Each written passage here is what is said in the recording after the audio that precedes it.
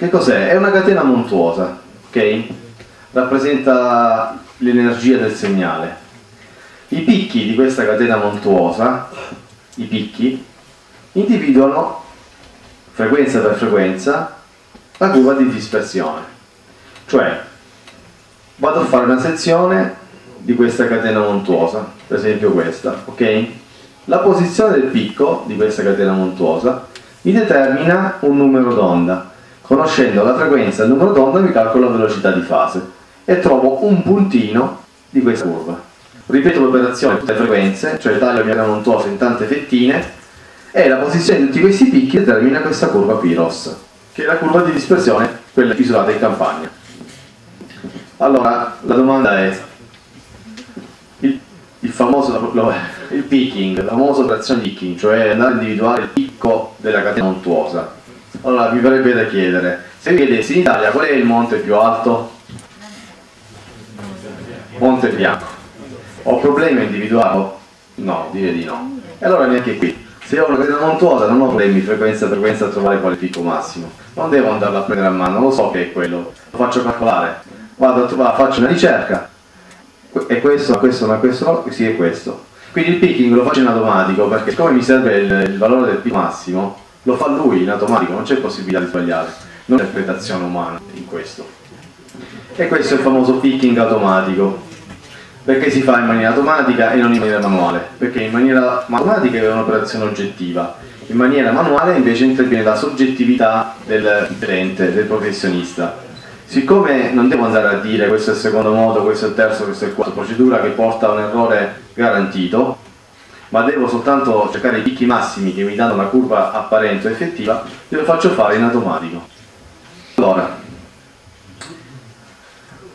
fatta la misura della curva apparente, che è una combinazione dei vari modi di vibrare, eh, devo andare a trovare il modello, cioè il profilo di velocità.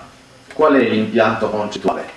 Allora io faccio delle ipotesi sul modello, cioè sulla geometria, la geometria cos'è? Sono degli strati eh, ipotizzati omogenei, ehm, elastici o al più viscoelastici, eh, isotropi, eh, fra di loro, condizione indispensabile, e pseudo-orizzontali, cioè non devono essere, avere l'inclinazione superiore ai 15 gradi. Okay? Perché? Perché la teoria è stata sviluppata per stati pianeggianti. Okay?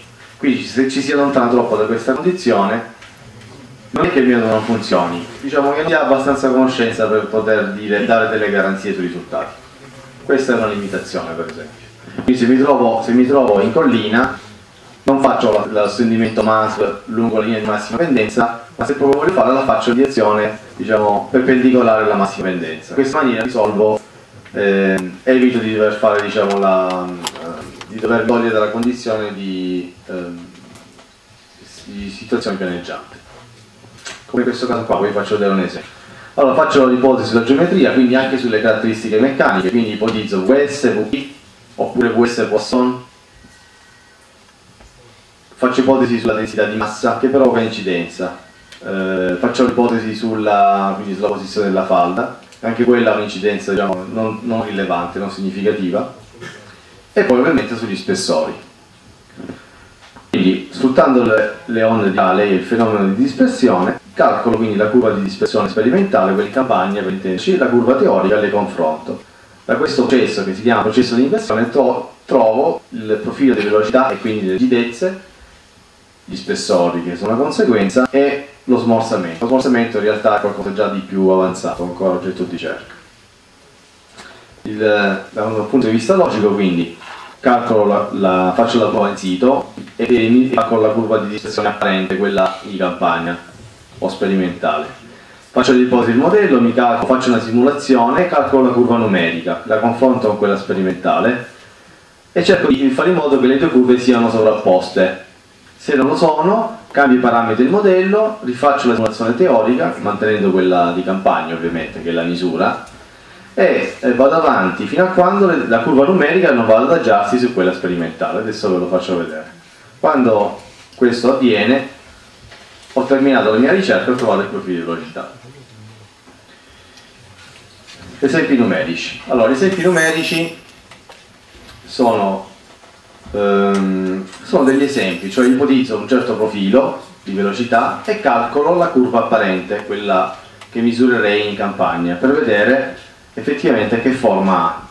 Perché lo faccio? Perché da questi esempi numerici imparo, imparo a riconoscere eh, che tipo di profilo devo attendermi sulla base della forma assunta dalla curva di dispersione apparente, quella che misuro in campagna. Allora, vediamo qui, qui ho un esempio di profilo in cui ho uno strato più rigido superficiale e poi il profilo scende in maniera più o meno regolare, insomma, con contrasti di rigidezza non tanto elevati. Che misura misurerei, che curva misurerei io in sito? Quella di campagna, questa blu. Allora, adesso io rifarei la domanda. Allora, questo qui che modo è? Benissimo, il primo, questo dico io. Questo che modo è? Il terzo. Perché lo so? Perché, perché l'ho simulato io, ho simulato, quindi conosco già il profilo e posso dire a posteriori che tipo di modo è, benissimo. Ma se io non avessi il profilo di velocità e avessi soltanto quella blu, non, saprei, non sarei così sicuro nel rispondere, anzi qualcuno probabilmente tenderei a dire il secondo modo e sbaglierei, è il terzo invece. E allora, e questo qui invece, questo qui che modo è? È tra il secondo e il terzo, né il secondo né il terzo. Ok, andiamo a vedere un altro esempio, questo qui. Ho uno strato rigido eh, a, a circa 5 metri, va bene? Quindi soffice rigido, soffice e poi il vetro sismico. Qual è la curva di dispersione? Questa qua. Guardate, il primo modo, però questo salto dovuto alla presenza di questo strato rigido, questo qui, perché va verso l'altro, per questo è rigido, perché va verso l'alto. Che modo è? Il secondo per due punti e poi scende sul primo. Facciamo vedere un altro esempio Ecco, guardate qui, qui non c'è stato soffice, è stato rigido, però c'è un bel contrasto di rigidezza, questa è una situazione che può accadere, non è che... perché si passa da 200 metri al secondo a 1000, può accadere, io ho ritrovato situazioni in cui questo avviene, poteva essere anche 400, non necessariamente 200. Guardiamo la curva blu com'è. Allora, primo modo, poi salta sul secondo e poi ritorna sul primo perché? Perché io conosco la, questa curva qui, ho generato, curva, eh, conosco il profilo, ho generato la curva apparente con tutti i modi e riesco a dirlo, ma se io avessi soltanto quella blu e dovessi decifrare di che modo si tratta, avrei il 99,99% di possibilità di sbagliare. Ecco perché è importante il fatto che uh, il software consenta di calcolare la curva apparente o effettiva considerando la sovrapposizione dei vari modi, anche quelli superiori, in, in maniera automatica, senza dover scegliere a priori dalla, dallo spettro questo è il primo modo, questo è il secondo, questo è il terzo, ok? Questo è importante, per questo motivo qua. Ok, questo qui è un caso molto molto ehm, estremo, abbiamo uno stato molto soffice, 50 metri al secondo, non so se c'è la, la collega del, di stamattina, parlavamo di, di terreni molto soffici. Potrebbero essere eh, pomice per esempio o torbe. Ecco, il fatto di avere uno strato così soffice può essere per esempio mm, una simulazione di eh, insomma è simile, molto simile al caso per esempio di avere una cavità, un tunnel che sia parallelo allo stendimento, sotto lo stendimento. Ok? In questo caso qui quello che io misurerei sarebbe una curva, questa qui azzurra, molto molto irregolare con eh, salti verso l'alto, verso il basso e un indice di presenza diciamo di una forte irregolarità nel profilo. Uno strato molto soffice. Se lo strato soffice invece è leggermente soffice la curva invece ha una leggera flessione. Se la, lo strato superficiale è più rigido di quello che c'è sotto, cosa, cosa misurerei? Vedete la curva non va verso l'alto, ma va verso il basso. Perché? A basse frequenze. Perché le basse frequenze sta misurando quello che c'è sotto. le alte frequenze misurano quello che c'è più sopra, infatti sopra lo stato è più rigido, ok? Quindi basse frequenze danno informazioni sugli stati profondi, alte frequenze sugli stati più superficiali. Se ho un substrato più soffice, poi qui ci sono diverse casistiche, per esempio stato soffice, guardate perché che forte irregolarità, a basse frequenze scende giù.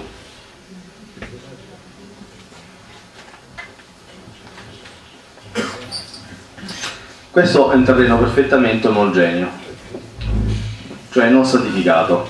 La curva che misurerei è orizzontale, questa è teorica ovviamente, però se è abbastanza omogeneo può capitare di avere una stratigrafia costituita, che ne so io, da eh, linee, origine normal consolidate, in pianura padana per esempio sono più frequenti, dove la, la, la, la, resistenza non aumenta neanche la rigidezza con la profondità per diversi, per diversi metri.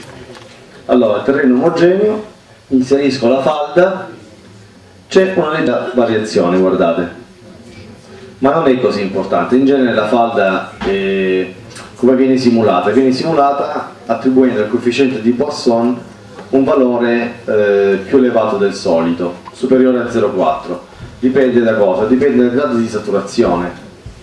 Perché? Perché quanto più il grado di saturazione del terreno è saturo, tanto più eh, diventa diciamo, importante l'incomprimibilità dell'acqua. Dell Tant'è vero che se fate della sismica rifrazione a un dB e avete la falda in terreni, misurate la, v, la VP dell'acqua. Ok? Perché? perché, eh, perché l'acqua è incomprimibile. Quindi il coefficiente di Poisson è vicino a 0,5, tra 0,4 e 0,5 in funzione del grado di saturazione. Se invece non c'è falda, il coefficiente di Poisson può variare tra 0,15 e 0,3 in funzione diciamo, della natura del terreno, però è ovvio che eh, siccome parliamo di piccolissime deformazioni, cioè, allora a questo punto anche il coefficiente di Poisson è piccolo, Infatti quello che noi misuriamo, che è la VS, dalla quale poi calcoliamo il modulo G, è il modulo G0, ok? A piccolissime deformazioni. Se poi voglio un modulo operativo di calcolo, ovviamente devo eh, abbattere il modulo, eh, per esempio riducendo di un fattore 5, 7, 8, 10, in funzione di quello che è il livello di deformazione che io mi aspetterei eh, in funzione dell'opera, sotto la fondazione superficiale, eh, sotto il palo di fondazione piuttosto che al lato, dietro l'opera di sostegno. Il livello di formazione dipende appunto dalla, dal tipo di opera e in funzione del livello di formazione il modulo si abbatte più o meno, di più o di meno. Tanto più alto il livello di formazione, tanto più si abbatte il modulo. Dovrei avere una curva di decadimento che in genere si ottiene o da prove di laboratorio oppure se ho delle informazioni sullo stesso tipo di materiale, di prove di laboratorio già fatte. Anche il passo dei ricevitori è importante. Guardate un po', questa è fatta con un metro e mezzo e questa con 5. In realtà, se voi vedete, a 20 Hz qui c'è un lieve cambiamento cioè per dire che anche lì i ricevitori sono importanti. Ora parliamo della classificazione sismica. Di questo argomento metà di voi già sono stati in qualche maniera informati stamattina. Però c'è un'altra parte. Questo qui è Osvaldo Pirchio, se qualcuno di voi sa chiedere.